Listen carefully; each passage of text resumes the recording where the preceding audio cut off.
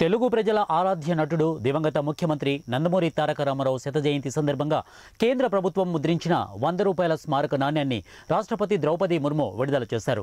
నాణ్యం ఆవిష్కరణ కార్యక్రమానికి ఎన్టీఆర్ కుటుంబ సభ్యులు హాజరయ్యారు. నందమూరి తారక రామారావు శత జయంతిని పురస్కరించుకొని వంద రూపాయల స్మారక నాణ్యం విడుదల చేశారు. రాష్ట్రపతి భవన సాంస్కృతిక కేంద్రంలో రాష్ట్రపతి ద్రౌపది ముర్ము నాణ్యం ఆవిష్కరించారు. ఈ కార్యక్రమానికి బీజేపీ అధ్యక్షుడు జేపీ నడ్డా టీడీపీ అధినేత చంద్రబాబు బీజేపీ రాష్ట్ర అధ్యక్షురాలు పురంధేశ్వరి ప్రముఖ సినీ నటుడు నందమూరి బాలకృష్ణ హాజరయ్యారు.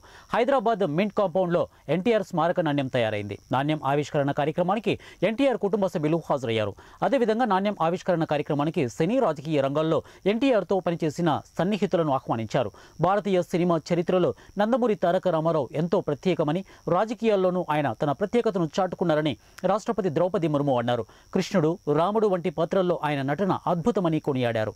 ఆ పాత్రలతో ప్రజలలో ఎన్టీఆర్ చెరగని ముద్ర వేశారు. చేశారని తెలిపారు. రాజకీయాల్లోనూ ఎన్టీఆర్ తన ప్రత్యేకతను చాటుకున్నారని అన్నారు.